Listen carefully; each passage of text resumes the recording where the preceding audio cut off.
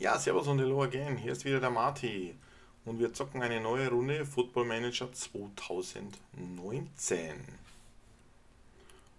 Es ist unsere Sprint to Glory mit dem TSV Landsberg. Wir starten in die Saison 2022-2023. Es ist meine fünfte Saison mit dem TSV Landsberg, die Stadt, in der ich auch geboren bin.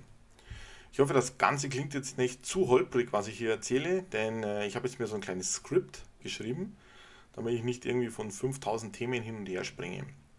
Also seht es mir nach, wenn es nicht ganz äh, rund läuft. Ich arbeite an mir. Bevor wir detailliert über die neue Saison sprechen, noch eine Info zum Thema Sprint to Glory. Was ist das genau? Ich wollte hier nochmal kurz darauf eingehen. Ich persönlich kenne Sprint to Glory aus dem FIFA-Bereich. Man übernimmt quasi ein Team und greift eigentlich nur in den Transferperioden ein. Also man kann sich das Team jeweils zusammenstellen und hat nur die Möglichkeit, mit Neuverpflichtungen oder Abgängen eigentlich ins Spiel einzugreifen. Es werden keine Spiele live absolviert. Ich könnte mir trotzdem vorstellen, dass wir es irgendwann mal schaffen, wenn wir aufsteigen, dass wir dann einige Spiele uns ansehen und ich dann als Coach eingreife. Noch sind wir aber lange nicht so weit. Äh, ja. Und hier ist auch mein Kater wieder. Katerchen. Büschelträger. So, dann gehen wir in unsere bisher erreichten. Jetzt muss ich den Kater hier mal runterdrücken. Oh, mein Baby. Mein Babybeutlin. Also, die Bestandsaufnahme. In den vier Jahren unter meiner Regie haben wir es bisher zweimal zum sechsten Platz geschafft, wurden einmal siebter. Und das schlechteste Ergebnis war einmal der 14. Platz. Für die Statistik, es waren 147 Spiele, 62 Siege, 30 Unentschieden und 55 Niederlagen unterm Strich also eine positive Bilanz. Aber man muss auch ganz klar sagen, mit dem Aufstieg in die Bayernliga Süd, wo Landsberg ja zwischen 2014 und 2017 gespielt hat, da haben wir nichts mit zu tun. Da sind wir meilenweit weg. Größtes Problem sind sicherlich die Finanzen. Da möchte ich jetzt auch mal drauf eingehen. Hier sehen wir es. Wir haben also in den letzten Jahren keine Gelder gehabt. Die Verluste wurden zweimal ausgeglichen, sonst würde es ziemlich düster aussehen. Wir haben zwar ein riesiges Gehaltsbudget mit diesen 405 und nee, mit diesen 437.000 ohne Brille, wieder geht nichts und geben eigentlich auch nur 128 aus. Ähm, das heißt, es wäre eigentlich hier viel Platz nach oben, ähm, aber wir haben ja eh immer ein Minus gemacht. Das heißt, das macht mir oder bringt mir jetzt überhaupt nichts, wenn ich hier mehr Gehälter ausgeben würde und dann wieder noch deutlicher ins Minus rutsche. Unser Kontostand liegt ja auch bereits wieder bei 400.000 Euro im Minus. Einzige Hoffnung, dass wir irgendwann mal was mit dem Aufstieg zu tun haben, ist es ganz ehrlich, dass wir eine Glückssaison erwischen, wo einfach alles passt und vielleicht zwei, drei Youngster gnadenlos einschlagen und wir ja, um den Aufstieg spielen können. Transfermäßig sieht es aktuell so aus. Es sind Verhandlungen mit ein paar Spielern gelaufen. Wir haben aber noch keinen Spieler verpflichten können. Zwei Spieler, an denen sind wir dran. Die würden wir gerne holen. Das wäre einmal Finn Brauner vom TSV Grünwald, ein Torhüter.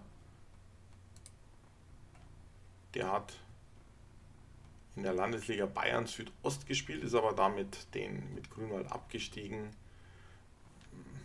so überragend war er jetzt eigentlich auch nicht.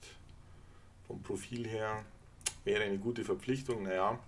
Und Vasilis Lukos, der defensive Mittelfeldmann von dem SC Großschwanz Lerche, nee, Großschwarzlohe, äh, kann ich lesen, Großschwarzenlohe, so heißt Landesliga Bayern Nordost haben die gespielt. Ähm, war auch schon bei Memmingen aktiv. Ein Transfer mit Mohamed Haji hat nicht geklappt. Der hat abgesagt. Ähm, schauen wir uns an, die Transferchronik. Ich muss hier mal rumklicken.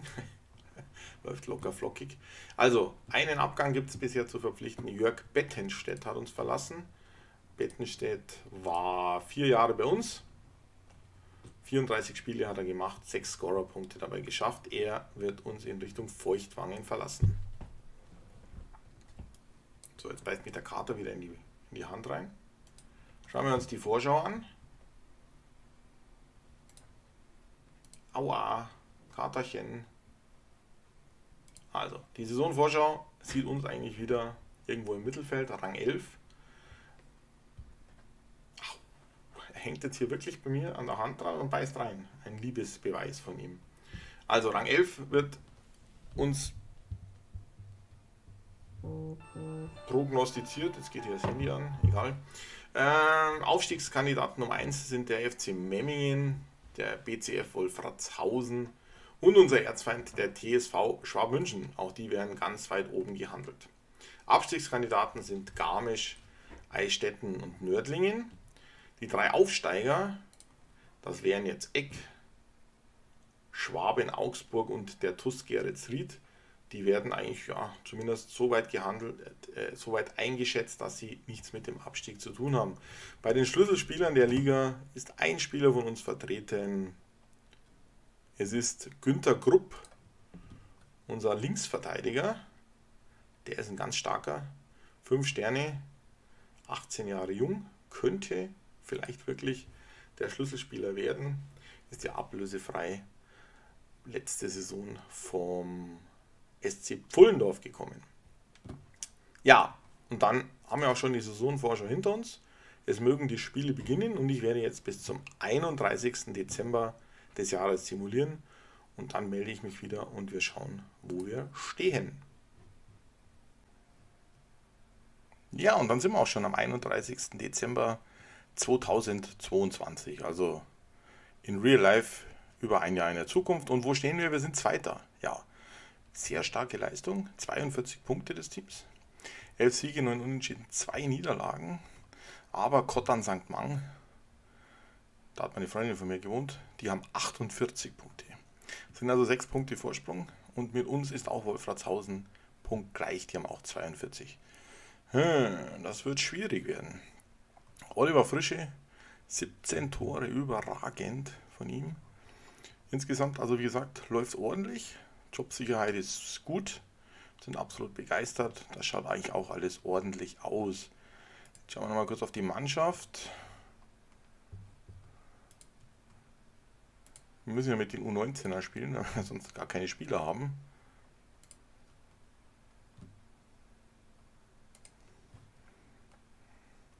Also von den Einsätzen her 14 Tore von Alexander Bauer und 17 Tore von Oliver Frische. Oliver Frische, der ist jetzt gerade mal 17 Jahre alt. Seine erste Saison, wo er spielt. Seit der Jugend ist er dabei. Also seit der 17, 16, 15, 14, seit der U14. Was ist das? C-Jugend. Und auch Bauer. Sehr stark. 22 Spiele, 12 Tore, 2 Assists für ihn. Damit 99 Spiele, 20 Tore. Transfermäßig haben wir nichts weiter vollbracht. Bettenstedt war der einzige Abgang. Das Transferfenster öffnet er erst morgen. Und auch noch ein Blick auf die Finanzen. Da stehen wir jetzt ja bei 498, also knapp 500.000 Miesen. Ne, 518 sind es. Kontostand 518.000 minus. Naja. Also die Kurve ist ein bisschen flacher wie letztes Jahr. Trotzdem wäre es natürlich schön, wenn wir jetzt irgendwie so den glorreichen Finanzinvestor finden würden. Ähm, ja. Schauen wir nochmal kurz auf den Rest in der Tabelle. Wolfratshausen Eck, der Aufsteiger Nördlingen. Abstiegskandidat Nummer 1 sind Fünfter. Wemmingen, Kempten, Mehring, Eichach, Kaufbeuern, Schwabmünchen, Gundelfingen, Olching, Schwaben, Augsburg, Keretzried, Türkspor, Garmisch, Gersthofen und Eichstätten ganz unten. So, wir werden jetzt weiter simulieren und sehen, wo wir am Saisonende stehen. Vielleicht gelingt uns ja jetzt in dieser Transferphase noch ein, ja, ein Coup, ein Cup, ein Schmankerl. Äh, ihr wisst, was ich meine. Also, bis gleich. Ja, und dann ist die Saison auch schon wieder zu Ende. Die Saison 2022, 2023 beenden wir als Dritter. Unser bisher bestes Ergebnis. 65 Punkte haben wir auch geholt. Das ist mal eine ordentliche Leistung. Hier sehen wir die Tabelle. Nein, hier sehen wir sie nicht. Das ist die noch nicht äh, die der von der neuen Saison. Wir sehen also hier, Wolfratshausen ist aufgestiegen. Kottern Mang, 2. mit 69 Punkten. Dann der TSV Landsberg mit 65, Vorschwab München mit 58. Abgestiegen am Ende Gasthofen, Turkspor und Kosmos Eichstätten. Also es hat wieder nicht gereicht. Der Abstand zu den Aufstiegsplätzen lag bei 9 Punkten. Finanziell sah die Saison ja wieder nicht besonders gut aus. Wir haben 624.000 Euro Miese. Und ich hoffe jetzt, dass es eine Finanzspritze gibt, die uns da wieder ein bisschen Geld in die Kasse spült. Von den Spielern schauen wir uns mal die Rekorde an. Hier sehen wir es also, die meisten Tore über alle Wettbewerbe verteilt. Alexander Bauer mit 17 ist er dabei. Damit jetzt 111 Spiele, 23 Tore. Starke Saison gespielt.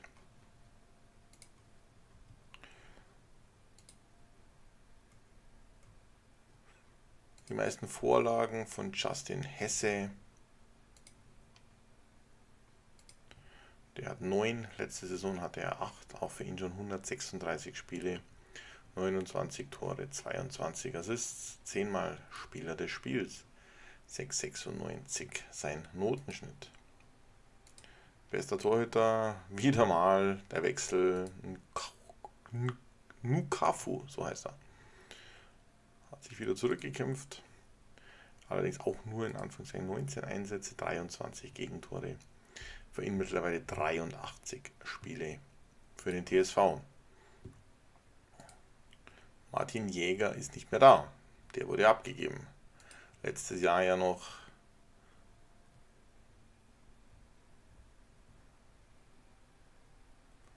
mit 15 Einsätzen, wurde zum FV Löchgau abgegeben. Hm.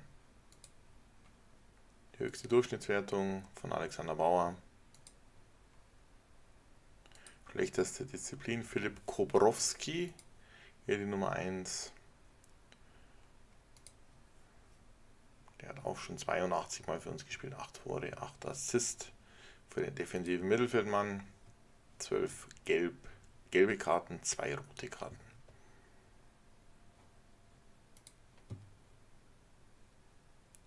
Spieler des Jahres der Fans ist wieder Justin Hesse geworden, der diesen Titel damit jetzt zum zweiten Mal holt.